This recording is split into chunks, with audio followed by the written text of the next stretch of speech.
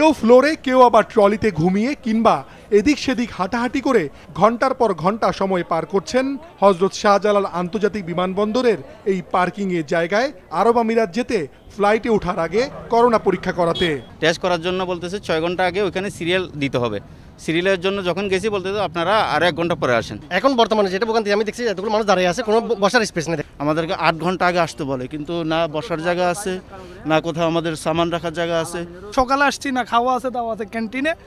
Rate মানে তার তিন গুণ বেশি নেয়। যে আমি এ পর্যন্ত ছটা রাষ্ট্রে গেছি, বাংলাদেশ এয়ারপোর্টের মতো কোথাও এত কষ্ট বা এত দুর্ভোগ আমরা কোথাও দেখি নাই।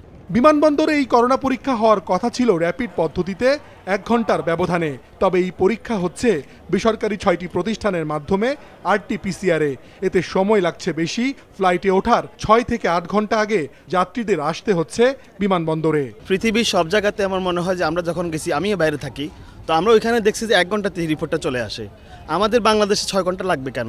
আমরা ঢাকা চিটাগাং সিলেটে জানি টেস্ট হওয়ার কথা। কেন হচ্ছে না আমরা ঢাকায় আসা লাগছে? অনেক কষ্ট করতে হচ্ছে। ফ্লাইটটা ছিল চিটাং থেকে সরাসরি আবুধাবি। কিন্তু এরা ওইটাও ক্যান্সেল করে আবার আসার সময় এক কষ্ট দিয়েছে আবার যাওয়ার সময় আরও এক কষ্ট দিয়েছে ঢাকার বাইরে চট্টগ্রাম ও সিলেট বিমানবন্দরেও করোনা পরীক্ষা চালুর ঘোষণা দেওয়া হলেও তিন মাসেও তা হয়নি। ফলে সবাইকে আসতে হচ্ছে ঢাকায়। এতে বাড়ছে চাপ, তৈরি হচ্ছে বিশৃঙ্খল পরিস্থিতি। সমস্যার সমাধানের চেষ্টা চলছে বলে জানিয়েছেন বিমান প্রতিমন্ত্রী। হাজার হাজার লোক প্রতিদিনই মধ্যপ্রাচ্যে যাওয়ার। তাদের এয়ারপোর্টের ভিতরে ওইখানেই আরটিপিসিআর করা রিপোর্ট পায় একসাথে।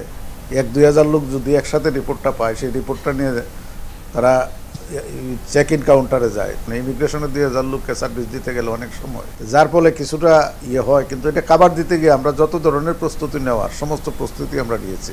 ঢাকার বাইরে চট্টগ্রাম বিমানবন্দরে আগামী মাসে করোনা পরীক্ষা চালুর প্রস্তুতি চলছে বলে জানিয়েছে বেসামরিক বিমান চলাচল কর্তৃপক্ষ।